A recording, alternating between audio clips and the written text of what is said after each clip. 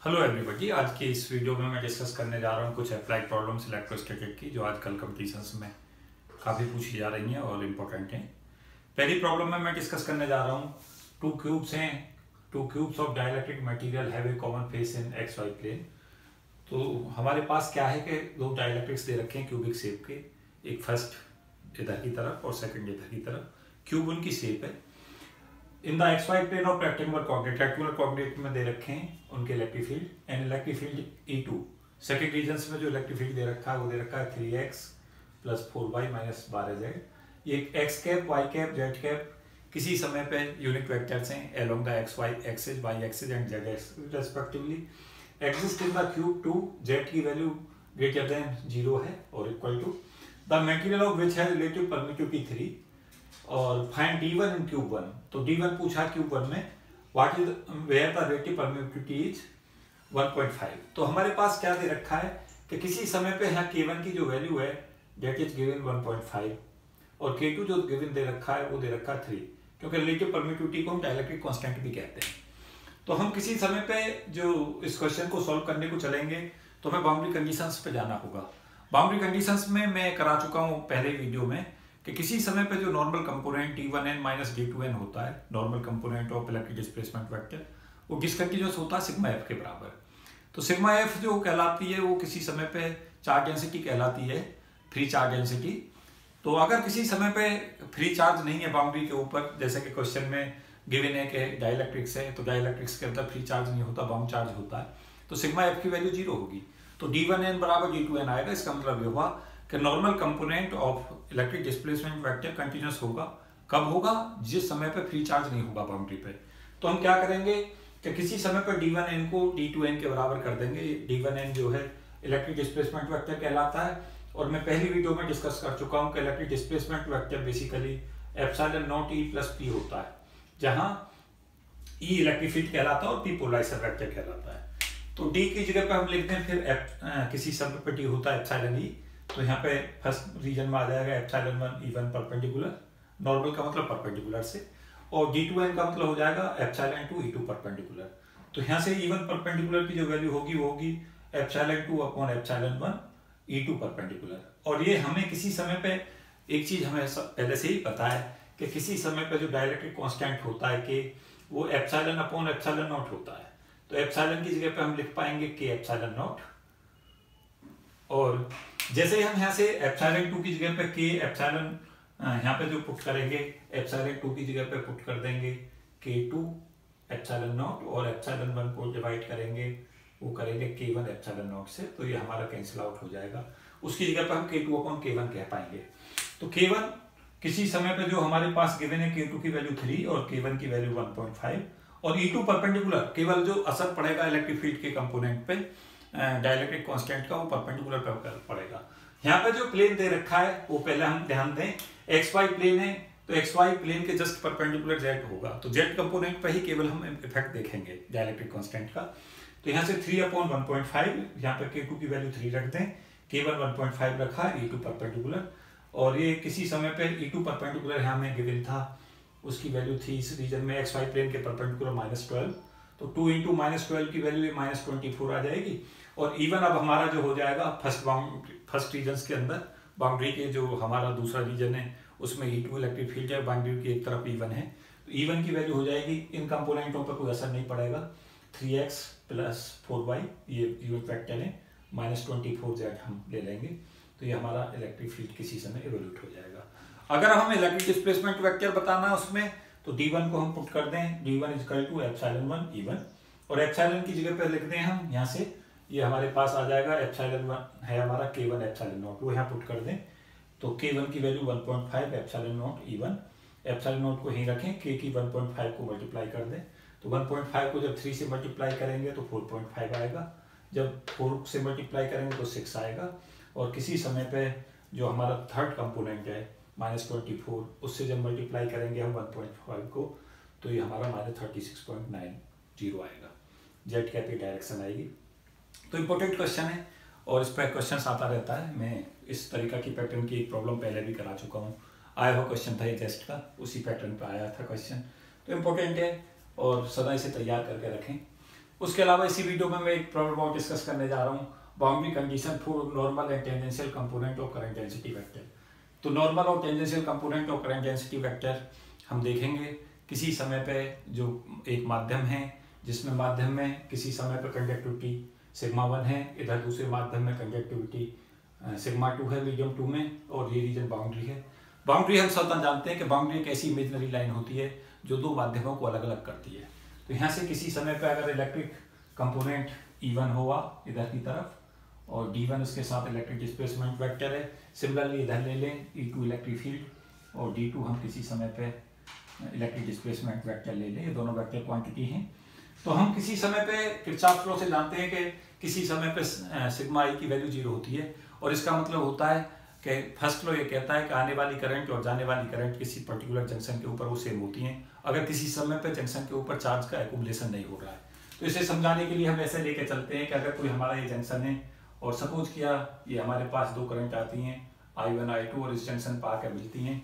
और किसी समय पर जो करंट आई वो I one plus I two होंगी। और किसी समय पर अगर यहाँ से ये हमारे पास दो करंट के वे हैं, किसी समय पर वायर जिनमें करंट फ्लो कर रही है।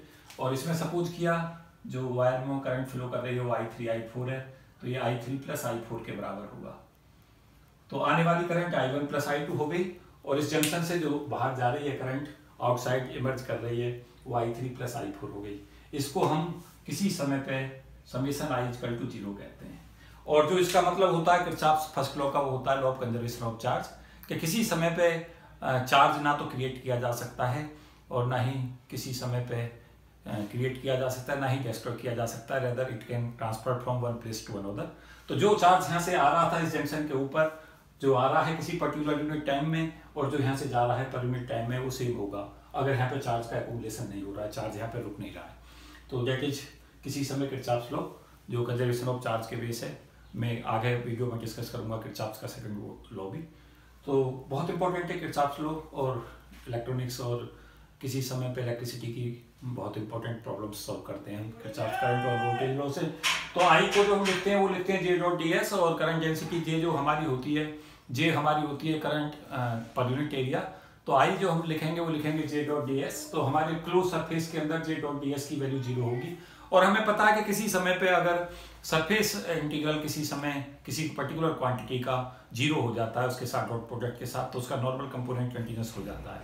ये मैं पहले ही समझा चुका हूँ इलेक्ट्रिक डिस्प्लेसमेंट वेक्टर की मेरी वीडियो देख सकते हैं। तो उस समय पे जे के साथ जब हम लेके चलेंगे तो जे के साथ जब नॉर्मल कंपोनेंट कंटिन्यूस हो जाता है तो जे एन वन को हम लिखेंगे जे एन टू और इसका मतलब होगा कि जे वन परपेंडिकुलर की वैल्यू जे टू परपेंडिकुलर के बराबर होगी। जे हमारा होता है किसी समय पर सिग्मा ई तो ये sigma one E one perpendicular equal to sigma two E two perpendicular हो जाएगा, क्योंकि जे बराबर सिग्मा ई हम जानते हैं, ये हमारा जे बराबर सिग्मा ई जो होता है, इसको हम किसी समय पे एम ये ओम्स लॉ भी कहते हैं। ये ओम्स लॉ से आता है, और ओम्स लॉ ये कहता है बेसिकली कि किसी समय पे करंट डेंसिटी जे वो डायरेक्टली निर्भर करती है ई e के ऊपर। जैसे जैसे हम इलेक्ट्रिक फ़ील्ड को बढ़ाते जाते हैं करंट की वैल्यू बढ़ती है करंट डेंसिटी की वैल्यू बढ़ती है। और इलेक्ट्रिक फ़ील्ड का मतलब है वोल्टेज से। तो अगर किसी समय हम वोल्टेज को बढ़ाते हैं तो उस करंट बढ़ती है। और करंट बढ़ती है तो किसी समय पे वोल्टेज के बढ़ने से इलेक्ट्रिक फ़ील्ड भी बढ़ता है और इलेक्ट्रिक फ़ील्ड बढ़ने से करंट बढ़ती है तो करंट डेंसिटी बढ़ती है। तो J equal to sigma E statement है। तो जे वन की जगह पर हम लिख दें sigma one E one perpendicular equal to sigma two E two perpendicular ये हमने ओम्स लॉ से ले लिया।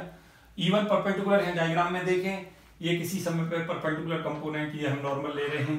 तो नॉर्मल से सदा एंगल लेकर चलते हैं। तो किसी समय पर जब हम इसका कंपोनेंट देखेंगे तो इधर जो पैरेलल कंपोनेंट आएगा, और पैरेलल कंपोनेंट की वैल्यू होगी E one cos theta one इधर जो कंपोनेंट इसका परपेंडिकुलर आएगा, वो वैल्यू होगी किसी समय पे E one sine theta one तो E one sine theta one हम यहाँ से रख दें E one cos theta one perpendicular component के लिए. तो परपेंडिकुलर कंपोनेंट के लिए जब हम लेके चलेंगे किसी समय पे वैल्यू तो हमारे पास ई वन परपेंडिकुलर आ जाएगा E one cos theta one और ये हमारे पास ई टू परपेंडिकुलर आ जाएगा E two cos theta two उसी तरीका से ई डॉट डी को हम लेके चलें और ई डॉट डी को देखें हम, क्योंकि पैरेलल बाउंड्री कंडीशंस में देखो ये कंपोनेंट हमारा E two sine theta two है तो इस जंक्शन के ऊपर E one sine theta one की value E two sine theta two के बराबर होगी, जो हमने यहाँ लिखी है। E one sine theta one बराबर E two sine theta two और इसमें E one cos theta one बराबर ई टू कि किसी समय पे ये दोनों वैल्यूज़ को अगर हम बराबर करें तो यहाँ से हम देखेंगे कि sigma one E one cos theta one sigma two E two cos theta two से जब डिवाइड करेंगे इसको तो ये sigma one cot theta one बराबर sigma two cot theta two आ जाएगी। ये जो हमारे पास में कंपोनेंट है पैरेलल कंपोनेंट हमारे पास जो आएगा इसका, क्योंकि हम नॉर्मल से कंपोनेंट ले रहे हैं तो परपेंडिकुलर में ये परपेंडिकुलर नॉर्मल कंपोनेंट कहलाएगा E one cos theta one और ये जो हमारे पास इधर कंपोनेंट आएगा, वो आएगा E two cos theta two ये हमारा कहलाएगा ई टू परपेंडिकुलर और अगर हम इसे सिग्मा टू से मल्टीप्लाई कर दें तो ये किसी समय पर sigma two E two cos theta two हो जाएगा। और सिग्मा वन से इसे मल्टीप्लाई करें तो इसी, किसी समय पे ये हमारा जे वन परपेंडिकुलर होगा और ये जे टू परपेंडिकुलर होगा। तो इससे हमारा ये एक्सप्रेशन एवोल्यूट हो जाएगा और पैरेलल कंपोनेंट से even sine theta one eta two sine theta two हो जाएगा। इन दोनों के डिवीज़न से हमें ये मिलेगा। तो हम बाउंड्री कंडीशंस में क्या देख रहे हैं कि किसी समय पे जब हमने एक, पहले मैंने वीडियो अपलोड की थी, उसमें बाउंड्री कंडीशंस में पढ़ाया था। Epsilon one cot theta two epsilon two cot theta two के बराबर होता है। Sigma one cot theta two sigma two cot theta two के बराबर होता है। अभी हम देख रहे हैं, और mu one cot theta one two mu two cot theta two के इक्वल होता है। ये हम किसी समय पर ये बाउंड्री कंडीशंस तीनों को सदा ध्यान रखें। तो ये इंपॉर्टेंट बाउंड्री कंडीशंस हैं, जिन पे क्वेश्चंस लगातार आता है। तो इस वीडियो में केवल इतना ही, और खास तौर से मैं एक चीज़ जो यहाँ बताना चाहूँगा वो है कि इस पर अप्लाई प्रॉब्लम ज़रूर करके रखें। इस पर क्वेश्चन आ सकता है, किसी समय पर तीन वेरिएबल देगा और चौथा वेरिएबल पूछेगा। तो इस टाइप की प्रॉब्लम्स करके रखें, किरचाप्स के करंट वोल्टेज लो दोनों करके रखें और इस तरीका की जो प्रॉब्लम मैंने ये बाउंड्री कंडीशंस पर कराई है लगातार आ रही है। एक क्वेश्चन इसमें जो आता है, वो D one perpendicular equal to D two perpendicular plus sigma F इस पर भी ध्यान रखें, इस पर क्वेश्चन आ सकता है कि ये किसी समय ये देगा और ये देगा डी वन परपेंडिकुलर पूछ लेगा नॉर्मल कंपोनेंट इस पर काम करके रखें तो इस टाइप के क्वेश्चन करके रखें कि किसी समय पर अगर फ्री चार्ज एग्जिस्ट करता है तो हम इससे एक्सप्रेशन निकालें। फ्री चार्ज नहीं है तो इन दोनों को बराबर कर दें। तो इस टाइप की प्रॉब्लम्स करके रखें। मुझे उम्मीद है ये वीडियो आपको पसंद आएगा और इस वीडियो को दूर दूर तक शेयर करें। गाँव के बच्चे जो दूर दराज के इलाकों में हैं, वहाँ तक इस वीडियो को पहुँचाने का प्रयास करें कि जिससे जो हम ये एक मुहिम लगाए हुए हैं, चला रहे हैं, वो दूर दूर तक बच्चों तक ये पहुँच पाए। थैंक यू धन्यवाद।